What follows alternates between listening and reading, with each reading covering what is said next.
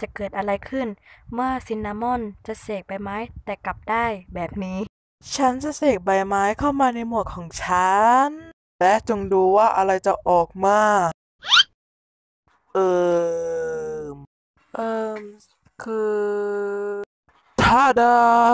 แล้วฉันมาอยู่ในหมวกของซินนามอนได้ไง ซินนามอน แล้วให้คุกกี้อยู่ในหมวกได้ไง